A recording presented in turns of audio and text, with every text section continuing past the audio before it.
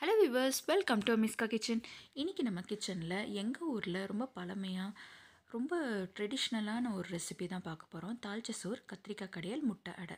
அவ்வளோ அருமையான இந்த ரெசிபியை எங்கள் ஊரில் ரொம்ப பழங்காலத்துலேருந்து செஞ்சுக்கிட்டு வராங்க. தால்ச்ச சோறு கத்திரிக்காய் கடையல் முட்டை அடைனா எப்படி செய்யலாம் அப்படிங்கிறத வாங்க பார்க்கலாம். ஒரு குக்கரில் ஒரு கால் கிலோ அளவு கத்திரிக்காய் சேர்த்துக்கோங்க. அதில் மூணு பல் பூண்டு ரெண்டு பச்சை மிளகா ரெண்டு தக்காளி ஒரு பெரிய சைஸ் உருளைக்கிழங்கு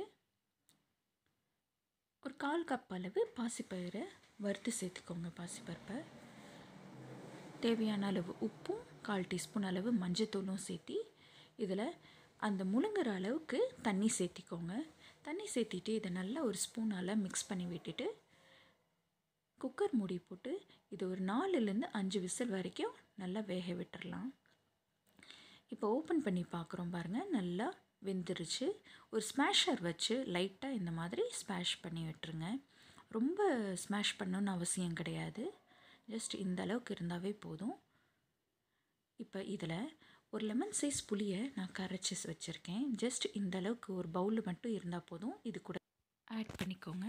இப்போ இதுக்கு தாளிப்பு கொடுத்துடலாம் ஒரு கடாயில் ரெண்டு ஸ்பூன் அளவு ஆயில் சேர்த்திட்டு ஆயில் ஹீட் ஆகிட்டு ஒரு ஸ்பூன் கடுகும் ஒரு வெங்காயம் ரெண்டு பல்லு பூண்டும் சேர்த்தி கொஞ்சமாக கருவேப்பிலையும் வரமிளகாயும் சேர்த்து நல்லா மிக்ஸ் பண்ணி விட்டுருங்க. வெங்காயம் ஓரளவுக்கு நல்லா வதங்கி வரட்டும்.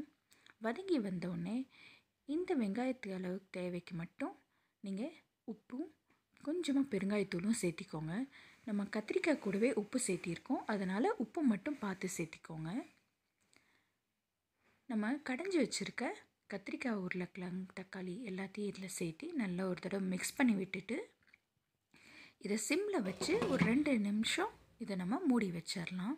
ரெண்டு நிமிஷத்துக்கு அப்புறம் நான் ஓப்பன் பண்ணி பார்க்குறேன். நல்ல ஓரளவுக்கு திக்னஸ் வந்துருச்சு. அவ்வளோதான்.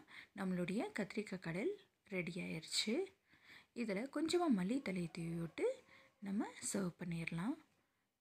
ரெடி ஆயிடுச்சு இப்போ நம்ம தாளித்த சோறு ரெடி பண்ணிடலாம். ஒரு குக்கரில் ரெண்டு ஸ்பூன் அளவு ஆயில் சேர்த்திக்கோங்க.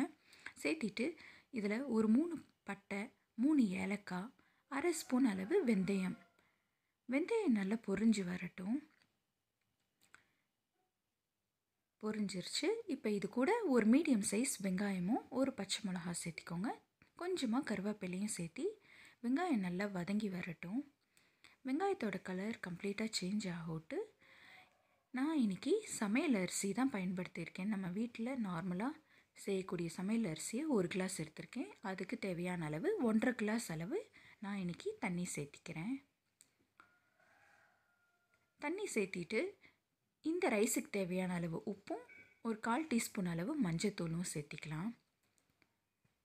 இது செய்கிறது ரொம்பவே ஈஸி. அவ்வளோதான் சேர்த்துனதுக்கப்புறமா தண்ணி ஓரளவு நல்லா கொதி வந்த உடனே நம்ம ஊற வச்சுருக்க அரிசியை இதில் சேர்த்திக்கோங்க. சேர்த்தி நல்லா இதை மிக்ஸ் பண்ணி விட்டுட்டு மூடி போட்டு ஒரு ரெண்டு விசில் விட்டுடலாம் ரெண்டு விசிலுக்கு அப்புறம் நம்ம ஓப்பன் பண்ணி பார்க்கலாம். மாஷால்லா நம்மளுடைய தாளிச்ச சோறு மணக்க மணக்க ரெடி ஆயிடுச்சு அந்த வெந்தயமும் வெங்காயத்தோட ஸ்மெல்லு அருமையாக இருக்கும். இதை நீங்கள் வீட்டில் செஞ்சு பார்த்தீங்கன்னா கண்டிப்பாக எனக்கு சொல்வீங்க. அந்த அளவுக்கு ரொம்பவே டேஸ்டான ரெசிபி ரெடி ஆயிடுச்சு இப்போ நம்ம முட்டை அடிக்க ரெடி பண்ணிடலாம். ஒரு பவுலில் ரெண்டு முட்டையும் ஒரு பச்சை மிளகா ஒரு பல் பூண்டும் கொஞ்சமாக வெங்காயம் சின்ன சின்னதாக நறுக்கி வச்சுருக்க மல்லித்தலை இந்த முட்டைக்கு தேவையான அளவு உப்பும் அரை ஸ்பூன் மிளகுத்தூளும் சேர்த்து நல்லா இதை பீட் பண்ணி விட்டுறலாம். முட்டை எவ்வளோ அடிக்கிறீங்களோ அந்த அளவுக்கு சாஃப்டாக ஃப்ளஃபியாக வரும். அவ்வளோதான் ரெடி ஆயிடுச்சு. ஒரு பேனில் ஒரு ஸ்பூன் அளவு ஆயில் சேர்த்திட்டு இந்த பீட் பண்ணி வச்சுருக்க முட்டையை நம்ம சேர்த்திக்கலாம். சேர்த்தி இந்த மாதிரி நல்லா பரவி விட்டுருங்க. ஒரு ரெண்டு நிமிஷத்துக்கு அப்புறம் அப்படி திருப்பி போட்டுடலாம் அவ்வளோதான் திருப்பி போட்டாச்சு. இப்போ இந்த சைடும் வேகட்டும். நல்லா பீட் பண்ணுறனால இந்த மாதிரி நல்லா சாஃப்டாக ஃப்ளஃபியாக வரும். எங்கள் ஊரில் பாரம்பரியமான ரிஸ் டிஷ்ஷுன்னு சொல்லி நான் பால் விலங்காய் திக்கடி எல்லாம் செஞ்சுருக்கேன். அந்த ரெசிபியை நீங்கள் செக் பண்ணி பாருங்கள் இந்த தாளிச்ச சோறுக்கு கத்திரிக்காய் கடையில் முட்டை அடை மட்டும் இல்லாமல் தாளிச்ச சோறு கருவாடும் நான் போஸ்ட் பண்ணியிருக்கேன். அந்த ரெசிபியோட லிங்க்கும் நான் டிஸ்கிரிப்ஷன் பாக்ஸில் கொடுக்குறேன். கண்டிப்பாக செக் பண்ணி பாருங்கள் இந்த ரெசிபியை நீங்கள் உங்கள் வீட்டில் கண்டிப்பாக செஞ்சு பார்த்துட்டு எனக்கு ஃபீட்பேக் சொல்லுங்கள் பிடிச்சிருந்தா கண்டிப்பாக லைக் பண்ணுங்கள் மறக்காமல் உங்கள் ஃப்ரெண்ட்ஸ் அண்ட் ரிலேட்டிவ்ஸ் கூட அதிக அதிகமாக ஷேர் பண்ணிக்கோங்க. மறக்காமல் எங்கள் சேனலுக்கு சப்ஸ்கிரைப் பண்ணிவிட்டு பக்கத்தில் இருக்க பெல் பட்டனையும் கிளிக் பண்ணி வச்சுக்கோங்க. தேங்க்ஸ் ஃபார் வாட்சிங்